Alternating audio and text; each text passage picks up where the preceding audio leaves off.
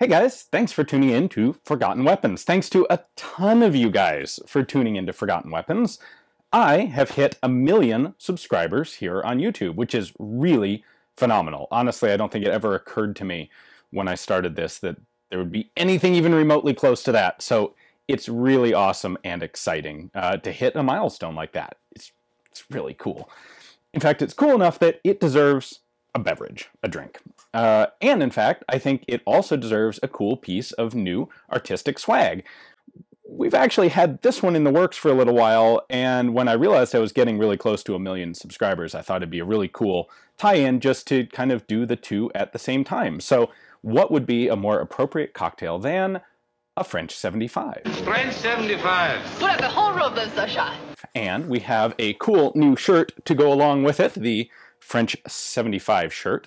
Now, the French 75, of course, is the French model of 1897 75 millimeter artillery piece, which was a truly revolutionary piece of artillery uh, at its time, right before the turn of the century. And it's something that France took into World War I thinking it really had the best, hottest, awesomest, perfect artillery. Now, what made this unique is, or what made this fundamentally transformative is kind of in the same vein as the Lebel rifle and its smokeless powder. Specifically, the Model 1897, the French 75, was the first artillery piece to actually go into production in modern usage that had a recoil mechanism. So prior to this, a cannon, while they had maybe breech loading guns, well, they absolutely had breech loading guns, fundamentally, the cannon was fired just like a cannon from hundreds of years earlier. When you pulled the lanyard on the thing, the projectile goes out that end, and then the whole gun rolls backwards on its wheels. And because it's just a barrel fixed into a carriage, and so then you have to roll it back to its firing point and re-aim it, and then reload it and fire it again. And what the Model 1897 in introduced was a, uh, a, a hydropneumatic recoil system, meaning that just like a self-loading firearm, uh, the, the whole barrel assembly slid backwards on a mount that was com uh, controlled by air, compressed air and oil and springs so that the gun itself didn't move. The, the wheels stayed in place. Uh, at the same time, they also introduced wheel chocks to hold the wheels in place, and the whole idea of basically a spade trail where you dig the back end of the gun into the ground to ensure that it doesn't move backwards. That was something you simply couldn't do before that because the gun had to move. If you tried to dig the back end in, the front end was going to lift up, it might break it, bad things were going to happen. The, that movement of the gun was necessary to absorb the recoil. Well, now the recoil is being absorbed by the whole barrel mechanism moving backwards, just like, uh, just like the bolt on a self-loading firearm. Now this was still a single-shot gun, however, in addition to this recoil system, it had what's called an eccentric screw breech which was really quick to operate. So the idea of an eccentric screw breech is that you've got a, a round gun and you've actually got the barrel up here, and then you've got a breech block that rotates and it's got a hole down here. So when it's closed and the two holes don't line up, the breech is sealed. And then you can rotate the back end of this thing open and the holes line up and then you can eject the empty shell and load a new shell in it. And in practice, this meant basically you pull a handle up, out comes the empty case, automatically ejected. You slam a new cartridge in, close the, the handle, just that kind of motion, and the gun's ready to fire again. You don't have to relay it, you don't have to re-aim it. All you have to do is throw a new shell in, pull the lanyard, and fire. And for the French, this, well, this was legitimately a tremendous advance in artillery technology. Um, unfortunately, it wasn't quite as good as they thought it would be. Um, they took this idea, this recoiling action in an artillery piece idea, and they applied it specifically to a light field gun, the 75 millimeter. They had high explosive and shrapnel uh, shells for this thing, and it was really well suited to the philosophical basis of the French army in that period up to, you know, from about 1900 up to World War One, which was light, mobile, always on the attack, um, you you would never need to dig in. You would never need to be on the defensive. The idea is that elan, uh, morale, superior morale, and will to fight uh, would overcome things like firepower. Well, this turned out to be a tremendously flawed idea, as they would discover in 1914. And unfortunately, in 1914, uh, they had no heavy artillery. They had deliberately not made heavy artillery because it just didn't fit the mold of what they expected to be doing. So they went into World War I with a, just over 4,000 of the the 75 millimeter Model 1897 guns, the French 75s. By the end of the war, they would have made 21,000 of them, and in fact, the American Army, as well as a number of other countries, would also adopt this gun. Because while it was of somewhat limited utility in trench warfare, because it didn't have the high angle of howitzer, it was a relatively light gun compared to what would be developed during the war.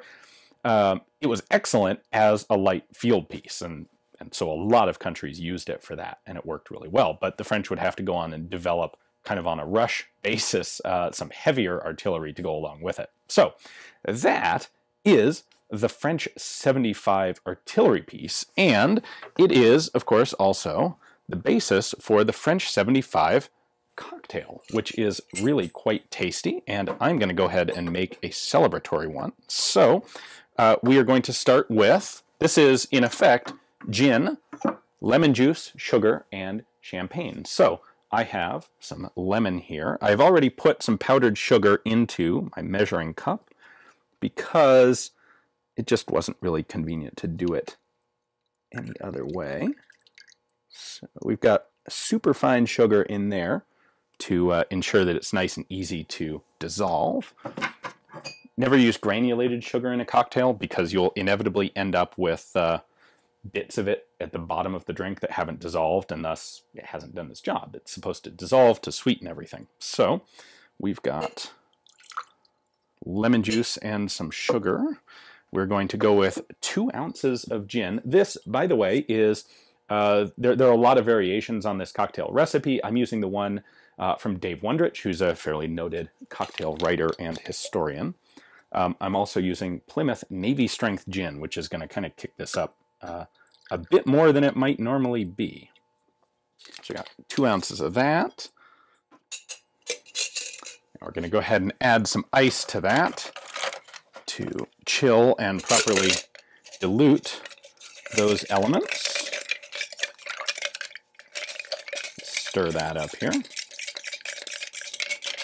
Should be able to see some condensation form, some frost form on the bottom of the shaker jar here.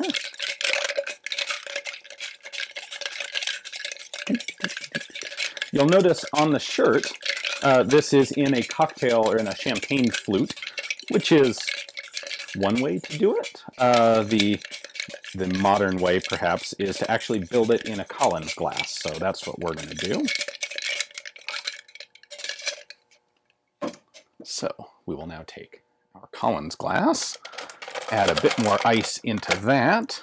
Normally you don't grab the ice with your bare hands, but this is my hand and my drink, and that'll work. Now we will go ahead and strain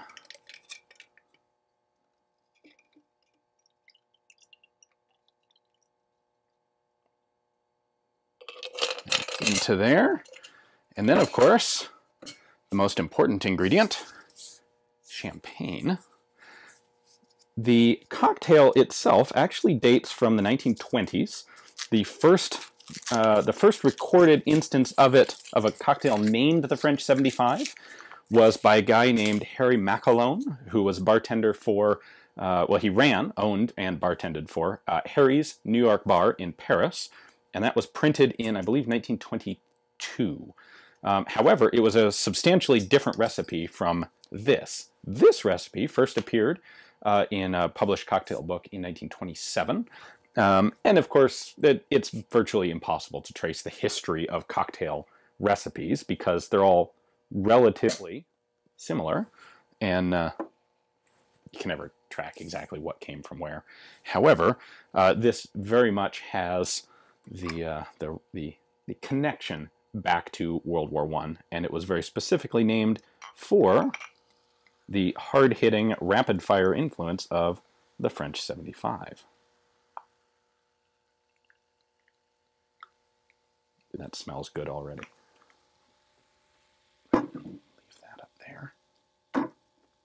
Give this one little stir just to make sure we've got everything mixed together nicely. And there we go, one French 75.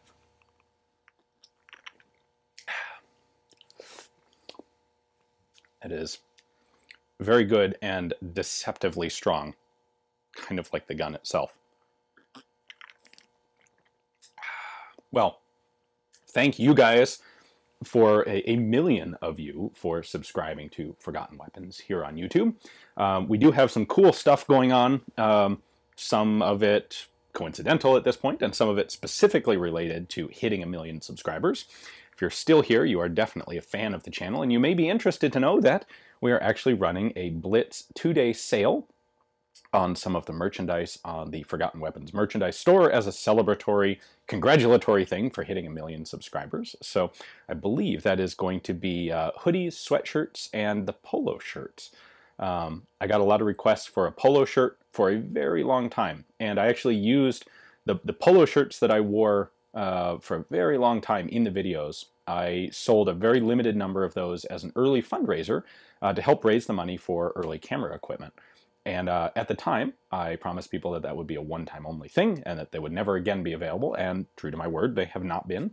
Um, however, we do have a polo shirt with the Forgotten Weapons logo on it. So if you're interested in something other than a print t-shirt, those, along with some hoodies and, and other winter-themed sweat sweatshirt type stuff, uh, are on sale starting right now on uh, December 9th and running until December 11th. So just a little short-term sale on that.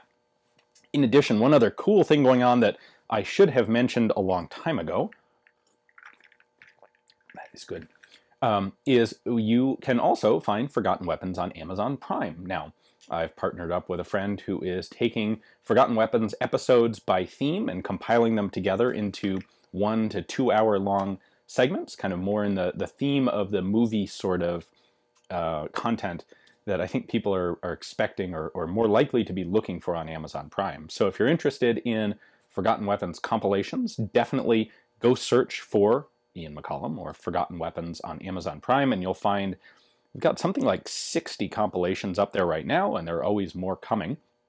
So that's a, a cool, exciting um, expansion uh, just in case YouTube does decide that they don't care how many subscribers I've got, they want to put the kibosh on the channel, well, that's another place that we'll have as an alternate and a backup. So if you're the sort of person who enjoys browsing on Amazon Prime, it's all free to watch there and without ads as Amazon Prime is. So got some other cool stuff coming, uh, hopefully, but I don't want to jump the gun. I don't want to talk about it until it's definite.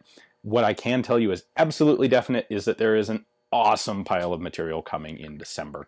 I think you guys will really like it. And of course, the long-awaited, by me as well as you, the long-awaited Heckler & Koch uh, G3, or uh, G3, G11. See, it, it's already hitting me. The long-awaited G11 video will be coming on Christmas. So thank you all very much. Thanks for tuning in, and we'll talk to you next time.